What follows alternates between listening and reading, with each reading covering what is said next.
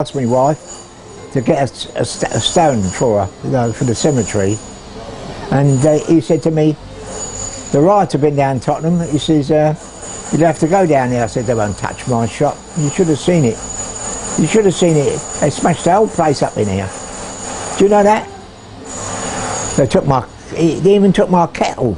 My kettle, my coffee, my sugar, my cups, my chairs. I had a bottle of spirit here, I've had it since 1940. Special spirit. What clears up acne and psoriasis. And they took that and all. I've had it over 70 odd years. I can't believe it. What I would say about Aaron is he has got the best stories. Um, nicest place to come and sit and have a little um, drop of whiskey and have a chat. Um, he has cut the most amazing people's hair. He was a court barber. Um, he was going to be on the Queen Mary. He's cut Boris's hair. He's the biggest Chief Spurs supporter I've ever met. Chief Constable. Yeah, Chief Constable, you name it. He's been there, done it. But it has been hard, hasn't it?